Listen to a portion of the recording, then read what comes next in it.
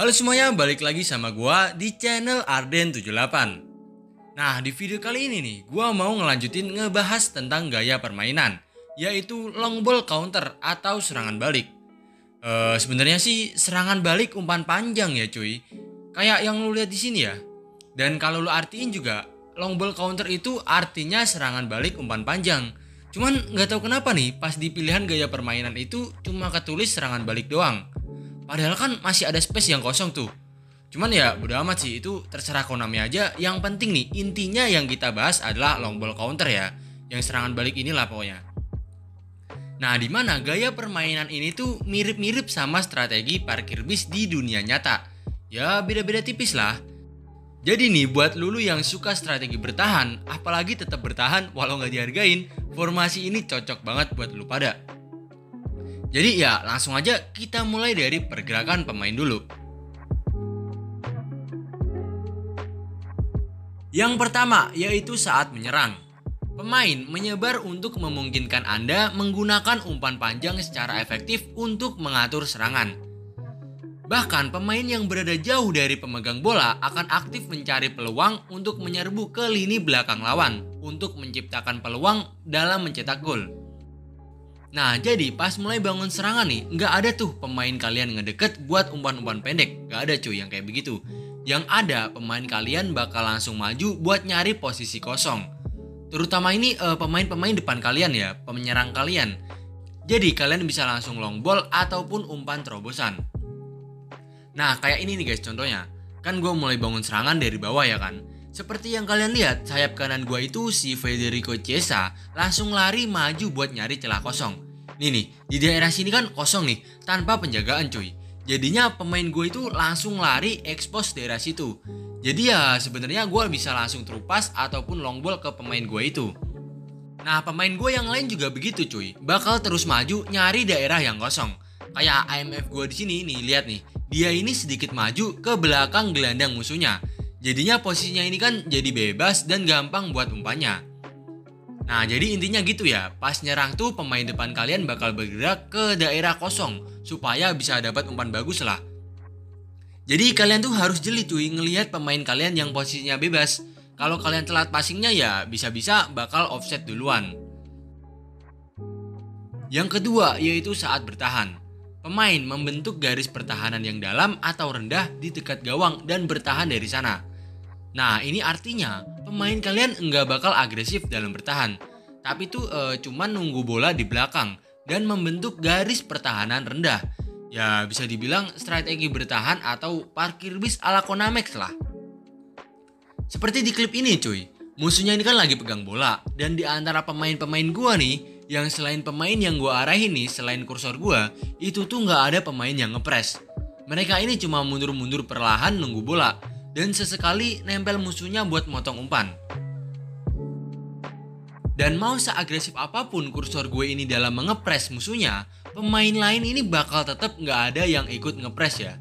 Cuma nunggu bola dan make garis pertahanan rendah alias numpuk pemain di belakang alias parkir bis. Yang ketiga, setelah merebut bola. Setelah mencuri penguasaan bola jauh di dalam setengah lapangan Anda sendiri, Pemain Anda bergegas maju ke ruang terbuka yang memungkinkan Anda untuk mengatur serangan balik cepat. Nah, tadi kan pas bertahan tuh e, nerapin pertahanan rapat ya, alias nunggu bola di belakang. Nah, pas musuhnya gagal nyerang nih dan bolanya dapat di kita, pemain kalian bakal cepet-cepet buat progresi ke depan, buat serangan balik cepat. Jadi ya nggak perlu banyak waktu dan bisa langsung passing ke depan cuy. Di klip ini contohnya nih, musuhnya lagi nyerang kan, sedangkan gue sabar untuk bertahan.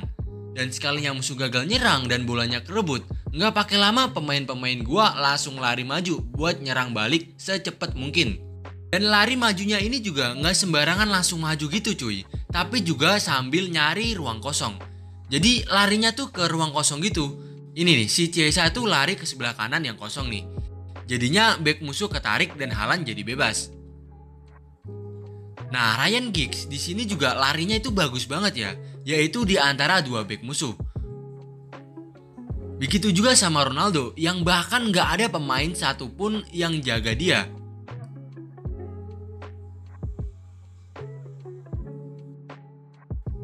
Next, gua bahas formasi yang cocok buat gaya permainan long ball counter. Nah, ini menurut opini gua pribadi ya cuy, karena kan selera dan gameplay setiap orang berbeda-beda. Jadi ya sesuaiin aja kalau emang cocok atau nggak cocok sama kalian. Yang pertama yaitu formasi 5 back. Ya jelas lah ya, bayangin aja nih, pakai strategi bertahan terus ditambah ada 5 back di belakang. Jadinya pertahanan kalian itu bakal kokoh banget dah, asli. Susah buat ditembus. Depan gawang lu tuh udah kayak video TikTok cewek joget lah, rame banget cuy. Tapi nih, kurangnya semua formasi 5 back ini selama gue pakai ya nyerangnya juga ikutan susah cuy.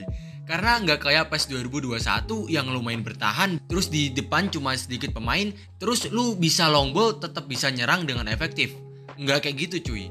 Di eFootball ini selama gue pakai ya susah anjing. Kalau pakai strategi bertahan plus 5 back kayak gini, itu tuh pas gue serangan balik di depan tuh kayak kurang orang lah.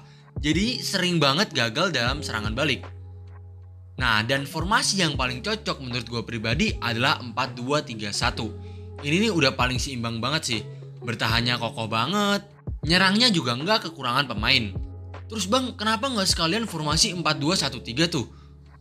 Kan penyerangnya ada tiga tuh, jadi lebih enak buat menyerang.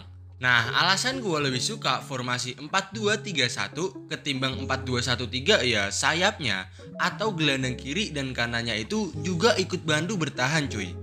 Jadi nggak cuma nyerang doang, tapi ikut bantu bertahan dan asli. Kalau mereka berdua ini ya, ikut bertahan, pertahanannya ini bakal kokoh banget, nyerangnya juga nggak kekurangan orang. Kemudian rekomendasi pemain nih.